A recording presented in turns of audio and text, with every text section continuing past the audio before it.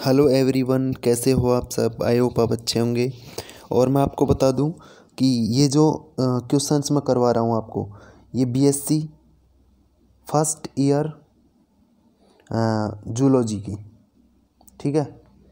अब आप सोचोगे कि ये किस पेपर के क्वेश्चन है? तो मैं आपको बता दूँ, ये आपके अगर सेकंड पेपर जिनके दो पेपर होते हैं तो वो तो आएँगे ये क्वेश्चन सेकंड पेपर में, और जिनके तीन पेपर होते हैं, उनके आएँगे थर्ड पेपर में, ठीक है? यानी कि जूलॉजी के तीन पेपर होते हैं, उसके थर्ड पेपर के क्वेश्चन है, और जिनके दो पेपर होते हैं, उसके सेकंड पेपर में आएँगे। ये क्वेश्चन इस तरीके से क्वेश्चन है। और मैं आपको बता दूँ, दो हज़ार अट्ठारह के एग्ज़ाम में आए हुए क्वेश्चन है तो आपको घबराना बिल्कुल नहीं है। और मैं दूसरी बात मैं बहुत रात को वीडियो बना रहा हूँ, यानी कि लगभग अभी के टाइम देख सकते हो आप, वीडियो में ही ग्यारह बज के बाईस मिनट हो चुकी है। तो यार इतनी मेहनत कर रहे हैं आप लोगों के लिए तो वीडियो को लाइक किया करो और दोस्तों में शेयर भी किया करो ताकि हमारा मोटिवेशन बढ़े। तो सबसे पहले अपन चलेंगे। सारे क्वेश्चंस और इस वीडियो में मैंने कम से कम बीस क्वेश्चन यानी बीस प्लस बीस के लगभग क्वेश्चन कंप्लीट कर लिए हैं, जो अति लघुतरात्मक छोटे क्वेश्चन हैं। और ये क्वेश्चन 2018 में आए थे आपके जूलॉजी के पेपर में। और अब की बार भी इसी तरीके का पैटर्न आएगा। और मैंने जूलॉजी के दो पेपर आपको अपलोड कर दिए। प्लेलिस्ट में जाकर वहाँ से आप उनको देख लेना और अच्छे से एक बार पढ़ लेना। मैं जूलॉजी के सारे पेपर अपलोड कर रहा हूँ। धीरे धीरे प्लेलिस्ट में सब कुछ मिलेगा आपको। तो वीडियो को लाइक करो चैनल पर नए हो सब्सक्राइब करो। मेरा नाम आप जानते ही हो मनीष है। तो साइंस फाउंडेशन यूट्यूब चैनल को सब्सक्राइब कर लो फटाफट से सब लोग जिन्होंने नहीं किया। तो मिलते हैं। कंटिन्यू आपको क्लास में। आ, बात करते हैं। यहाँ पर आपका पहला क्वेश्चन है बेयर के नियम को परिभाषित कीजिए। तो बेयर बेयर का जो नियम है, वो क्या है? तो यहाँ पर बेयर ने क्या बताया है अपने नियम में? कि विभिन्न प्राणियों के परिवर्धन का अध्ययन कर कार्ल एंटवॉन वेयर ने महत्वपूर्ण निष्कर्ष प्रस्तुत किया। भाई, उन्होंने विभिन्न प्राणियों का परिवर्तन का अध्ययन किया और फिर जो एक निष्कर्ष निकाला, वह निकाला कि प्राणियों के बड़े समूह के सामान्य लक्षण भूण में अपेक्षाकृत पहले प्रकट होते हैं। ठीक है? तथा प्राणी के विशिष्ट लक्षणों का परिवर्तन बाद में होता है। सामान्य लक्षणों का भूण में ही अपेक्षाकृत पहले प्रकट होते हैं और भूण प्राणियों के बड़े समूह के सामान्य लक्षण भूण में अपेक्षाकृत पहले भूण होता है, जिसमें प्राणी छोटा बच्चा होता है तो सामान्य जो लक्षण है वो तो भूण में ही प्रकट हो जाते हैं। तथा जो प्राणी के विशिष्ट लक्षण है, वो परिवर्तन बाद में होता है, ठीक है? तो यही है बेयर बेयर का नियम। क्वेश्चन आपका है सेकंड कि मैन चैट क्या है? तो मैन चैट क्या है? शुक्राणु में कोशिका द्रव का अधिकांश भाग नष्ट हो जाता है, जो थोड़ा सा बचता है। वह शुक्राणु के मध्य भाग में एक पतला सा आवरण बनाता है। इसे ही क्या कहते हैं मैन चैट शुक्राणु है में जो कोशिका द्रव का अधिकांश भाग है, वो तो क्या हो जाता है, नष्ट हो जाता है और जो बचता है बहुत कम और शुक्राणु के मध्य में पतला सा आवरण बन, बनाता है, वो क्या कहलाता है मैन चैट प्रवेश पथ क्वेश्चन नंबर थ्री प्रवेश पथ को परिभाषित कीजिए। निषेचन के समय नर प्राक केंद्र संगलन स्थल की तरफ़ गमन करता है, इसे प्रवेश पथ कहते हैं। तो ये चीज़ें तो आपको पता होगी। और नेक्स्ट क्वेश्चन है आपका, परिपक्व पुटिका से क्या अभिप्राय होता है?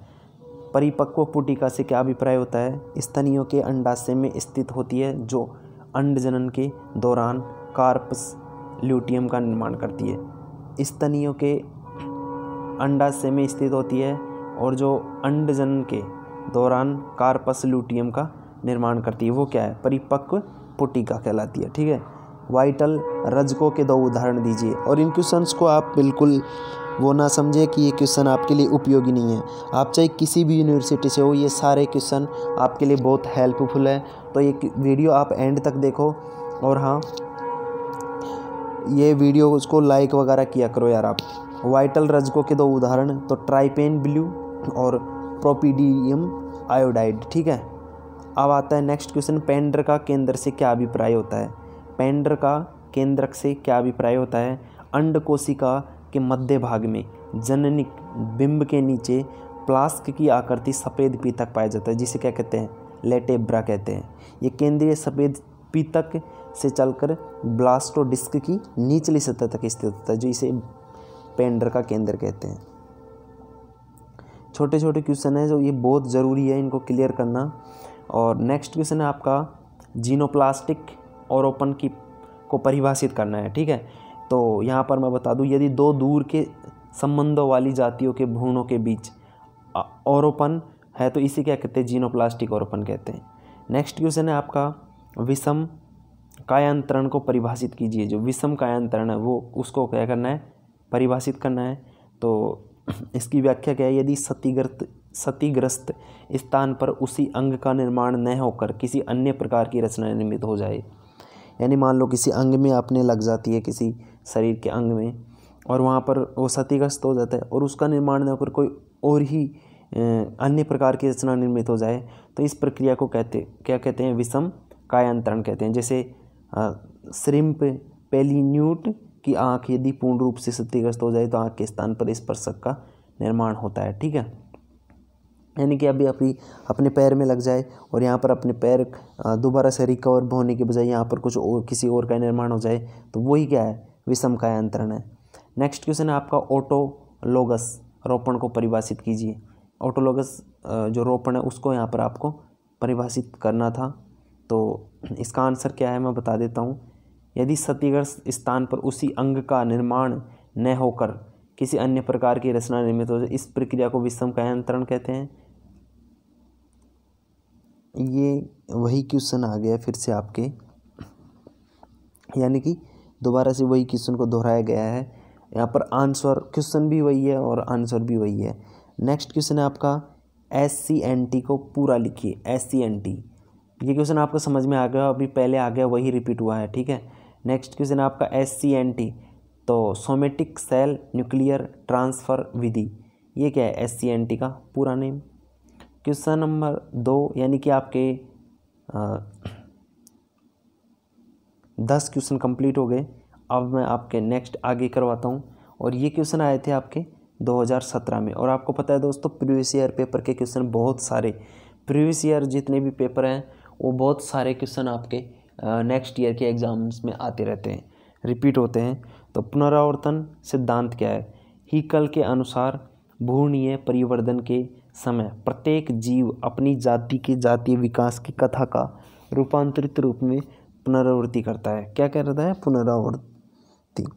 हिकल के अनुसार, हिकल जो वैज्ञानिक ने, उसने बताया कि जो भूणीय परिवर्तन है, उसके समय प्रत्येक जीव अपनी जाति के जातीय विकास की कथा का रूपांतरित रूप में पुनरावर्त पुनरावर्ती करता है। पुनः आवर्ती करता है, ठीक है? नेक्स्ट है आपका एक्रोमसोम, क्या है? स्प्रेमेडिड के गोल्जी इकाई से शुक्राणु के एक्रोमसोम का निर्माण होता है। यह निषेचन में महत्वपूर्ण भूमिका निभाता है। तो यही क्या है?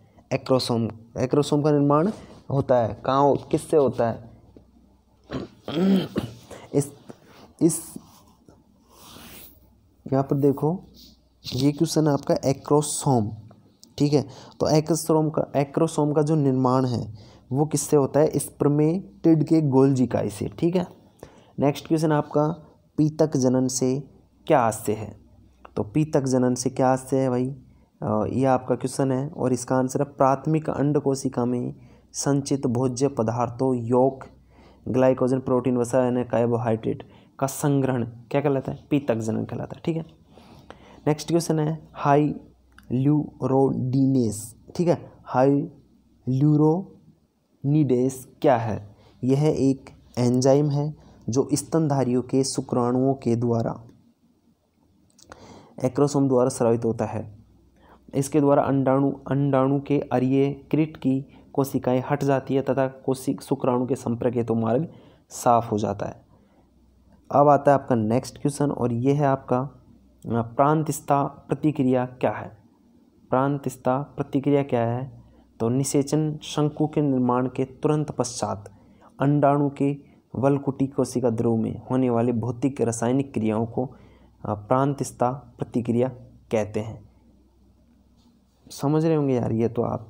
ये छोटे छोटे क्वेश्चन है, मैं ज़्यादा टाइम फिर वीडियो भी ज़्यादा लंबा हो जाता है तो फटाफट से करवा देता हूँ। गायनोजीनेसिस को परिभाषित कीजिए, और ये जो परिभाषा है, इनको तो आपको यार रट लेना है, याद कर लेना है, क्योंकि कोई भरोसा नहीं है किसी भी पेपर में ये फ़र्स्ट सेकंड या थर्ड किसी भी पेपर में आपके ये क्वेश्चन आ सकते हैं। गाइनोजीनेसस गाइनोजीनेसिस को परिभाषित करें तो वह अनिषेचक जनन जिसमें सक्रिय अंडाणु के विकास के लिए शुक्राणु द्वारा उद्दीपन दिया जाता है। परंतु शुक्राणु और अंडाणु केंद्रक का संयोजन नहीं होता। और विदलन विदलन के विभाजन तल कौन कौन से हैं? तो रेखांशिक, उग्र, उद्रग्र और विषुवतीय तल और अक्षांशीय तल। तो उम्मीद करता हूँ ये बीस के बीस क्वेश्चन आपको बीस से एक दो कम होंगे, लगभग बीस क्वेश्चन हैं सारे आपके समझ में आएँगे। और आप प्लेलिस्ट में जाकर जूलॉजी की सारी क्लास ले सकते हो। बहुत सारी क्लास करवा दी। आप चाहो तो एक महीने के अंदर आपका पूरा कंप्लीट कोर्स कर सकते हो। तो मिलता हूँ मैं आपको नेक्स्ट क्लास में। तब तक के लिए देखते रहो, प्लेलिस्ट में जाओ और पेपर्स वगैरह जितने भी हैं डाल रखे हैं, वो सारे एक बार जूलॉजी के कंप्लीट कर लो। तो मिलते हैं नेक्स्ट वीडियो में। तब तक के लिए जय हिंद, वंदे मातरम।